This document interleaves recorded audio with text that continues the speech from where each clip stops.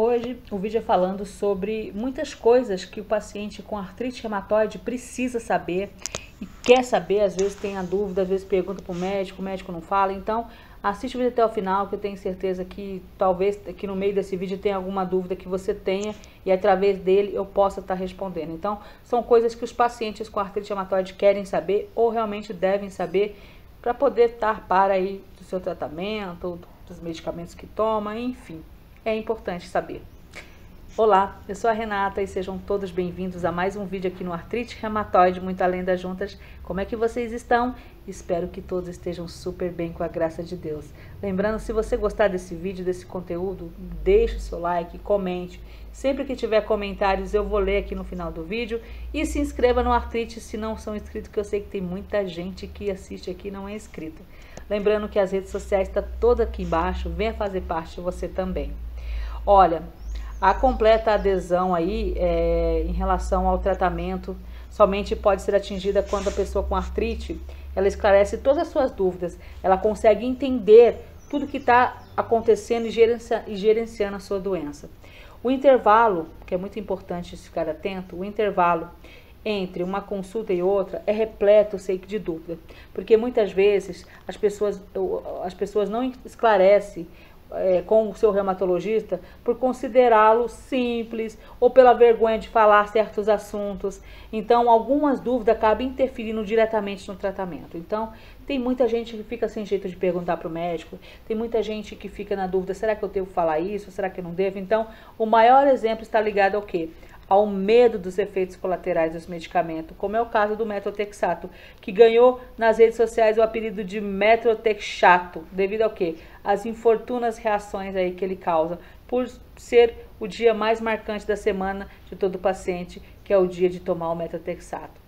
Como os pacientes, a gente sabe que esse é um medicamento muito importante, tá? Gente, por mais que ele que tenha esses efeitos colaterais, ele é muito importante, mas nem, tu, nem todos aí têm coragem de dizer ao doutor que tá difícil cumprir as tarefas do dia a dia, de conviver com o metotrexato. Então, gente, se o metotrexato está causando um efeito que está te prejudicando no seu dia a dia, que não está trazendo um benefício em relação à doença, tem que falar para o médico. Então, parte desses pacientes eles não tomam corretamente o remédio e não contam para o médico. É, é, é, ele acaba não contando aí para o seu médico o que está acontecendo. Gente, é importante, é importante poder falar com o médico é, em relação a isso que é, por você não contar ele, acaba prejudicando no gerenciamento dos efeitos colaterais e ter uma resposta é, que não é certa, não está dando certo. Então, o entendimento é, com relação à dor como principal sintoma da artrite também pode interferir nessa adesão por alguns pacientes. Ainda é, compreende que quando a dor é controlada, não é preciso continuar o tratamento. Muita gente pensa isso. Então, quando começa a tomar o medicamento e está diminuindo as dores ou até mesmo entra na remissão, acha que está curado e para.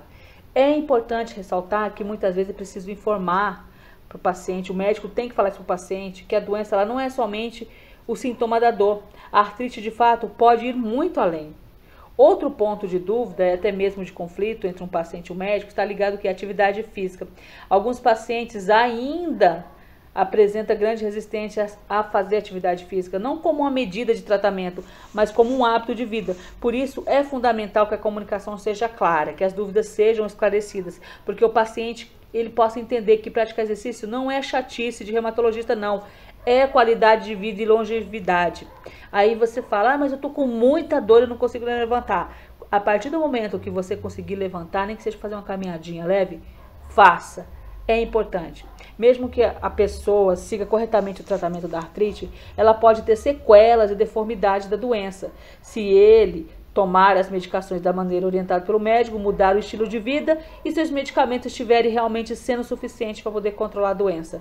Você não vai evoluir com sequelas nem com deformidade e terá uma vida absolutamente normal se você seguir corretamente aí o tratamento da artrite reumatoide. Você seguindo certinho, você não vai ter aí é, a evolução da doença, tá bom? Outra coisa muito importante, se a mulher com artrite reumatoide, ela pode ser mãe? Gente, eu lembro que no começo do meu tratamento, há 20 anos atrás, eu peguei um médico muito escroto, Deus me perdoe falar isso. Ele chegou para mim e falou assim: você não pode ter filho nunca mais. Só isso que ele falou. Eu achei que eu não podia ter por causa do meu organismo algum problema de, sei lá, não chorei, fiquei terrível. Não tinha informação nenhuma há 20 anos atrás. Eu não sabia que quando ele disse desse jeito horrível, queria dizer que enquanto eu estivesse tomando um medicamento X lá, eu não poderia engravidar. Então eu fiquei achando que tinha alguma interferência em relação à minha fertilidade, mas não. Ele só não soube me explicar. Eu sim posso ter filho, mas se eu estiver tomando um certo medicamento, é óbvio que eu tenho que falar com o meu médico. Então, mas de que forma deve acontecer um planejamento familiar em relação à mulher? Pode sim, porque a gente com artrite reumatoide, é lógico que a gente tem mais problemas de fertilidade. Não se sabe claramente qual é a causa se pelo uso crônico dos medicamentos, ou se é para a própria doença, mas as chances de gestações, óbvio que são menores, mas não são impossíveis.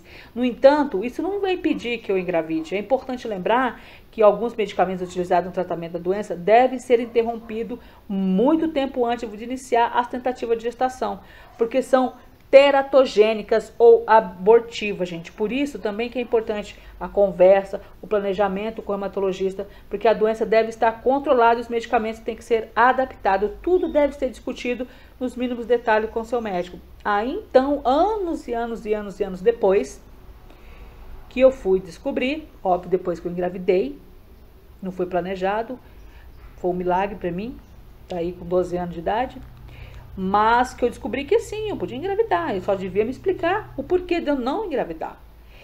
Outra dúvida muito comum é por que, que mesmo a gente fazendo o tratamento certinho, a gente ainda tem dores, né? De que forma a gente pode, a, a gente pode auxiliar o médico a identificar pontos de dor, se eles são da artrite ou se são secundárias? Se a doença estiver em baixa atividade ou em remissão, a gente não deve sentir dor. O problema é que a maioria deles apresenta, além da artrite reumatoide, outras doenças, osteoartrite, que é a artrose, a sarcopenia, que é a perda de massa muscular, a fibromialgia, dentre várias outras. Por vezes, inclusive, doenças autoimunes sobrepostas, que pode levar a gente a sentir dor. É importante que o médico tente compreender. É importante que a gente tente compreender no nosso corpo e perceber as articulações e os músculos, além de ficar atento às flutuações de humor e ao padrão de sono. Tudo isso pode interferir na percepção da dor, tá? Outra coisa que muita gente fala, muita, muita, muita gente fala também a respeito da fadiga, que é um mito ou é um fato. Mas quais as estratégias para controlar e diminuir a fadiga?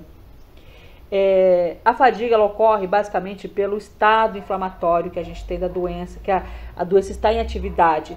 Ela não é lenda, é real. Pode ser bastante difícil lidar com ela. Se a artrite estiver controlada, a gente, a, a gente tende a não apresentar mais fadiga. Mas isso não ocorra, né? Caso isso não ocorra, outras causas devem ser consideradas como uma depressão, uma fibromialgia, um distúrbio da tireoide e até mesmo a hipovitaminoses também, tá?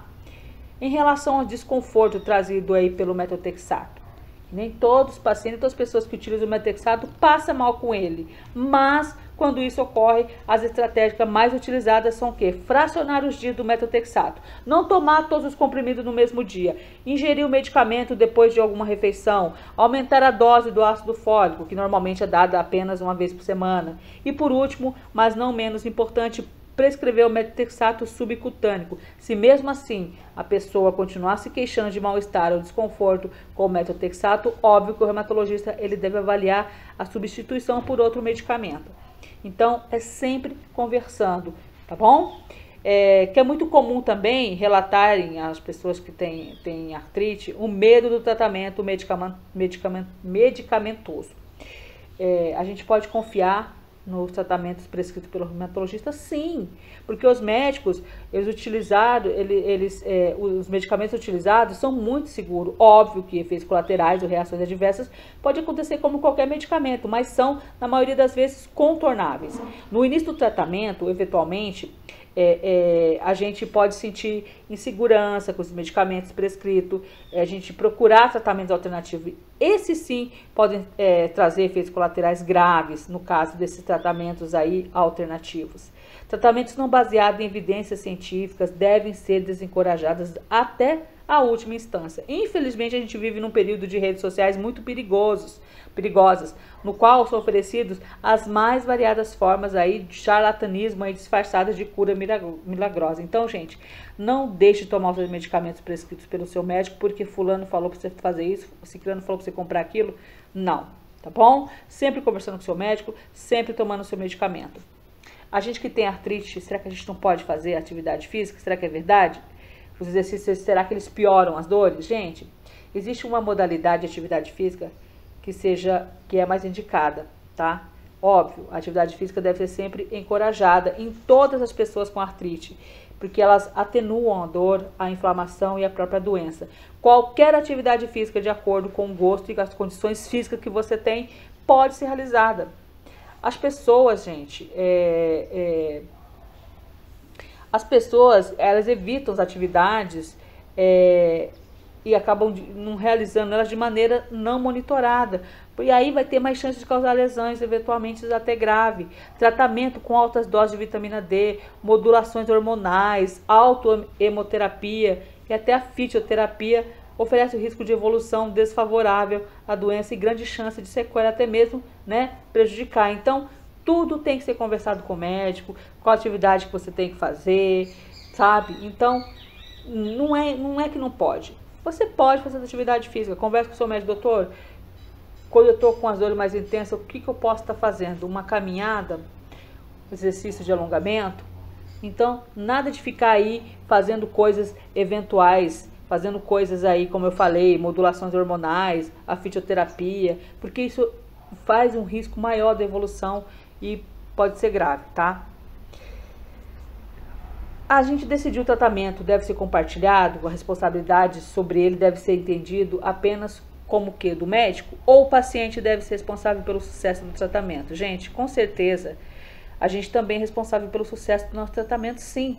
Tomar os medicamentos certinho, orientado pelo médico, mudar os hábitos de vida, perder peso, melhorar a alimentação, cessar o, o cigarro, praticar atividade física é importante fundamental para a obtenção da sua remissão da doença.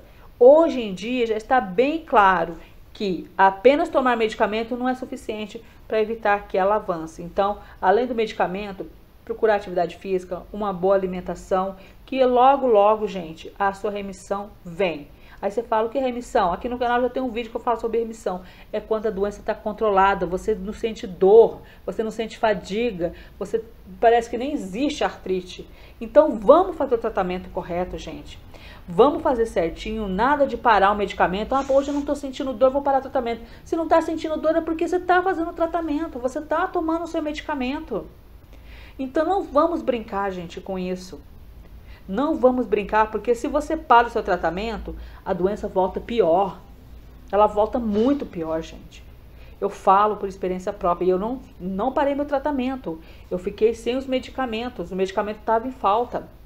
Eu só fiquei tomando o que o médico passou, passou prescreveu para mim caso eu tivesse com dor intensa. Mas não vamos parar o tratamento, pelo amor de Deus. Isso é muito sério muito, muito séria. É a sua vida, é o seu corpo que está ali. Você não quer acordar todo dia chorando de dor, você não quer dormir chorando de dor, você não quer ficar com cansaço, com fadiga, com desânimo, deprimido, nada disso, porque a dor ela causa isso, gente. Ela causa a falta de vontade de fazer tudo, ela, ela te trava na cama. Imagina uma dor 24 horas intensa, onde dói tudo, onde dói o fio do o couro cabeludo, o maxilar, os joelhos, cotovelos, punho, mãos, dedos, pés, tudo, gente. Não é porque você não está sentindo dor que você vai parar com medicamento. A artrite reumatoide, todas as doenças reumatológicas associadas, ela é uma doença crônica, uma doença autoimune, ela é para o resto da vida. Não é tomando um medicamento só que ela vai parar e vai sarar, não, gente. Tá bom? Sempre converse com o seu reumatologista, doutor, olha, esse medicamento está me dando muito mal-estar, eu não estou conseguindo ficar bem. Ah, vamos, vamos fazer o seguinte: você toma dois na segunda e dois na sexta, e depois você toma tal ácido fólico. Ah, doutor, mesmo assim não está dando certo. Vamos mudar a medicação. É assim que funciona. Conversando. Tá bom, gente? Espero muito que esse vídeo tenha orientado um pouco a sua cabeça, para você pôr em prática, para você seguir a risca, porque a nossa vida é uma dádiva de Deus e a gente tem que cuidar dela. Com limitações? Temos, mas nada como acordar todos os dias, abrir o olhinho e ver que a gente pode levantar com muita dificuldade, chorando de dor. A gente levanta, não levanta? Então, um beijo no coração, que Deus abençoe a todos. A gente se vê no próximo Artrite Reumatoide, muito além das juntas. Tchau, tchau, gente.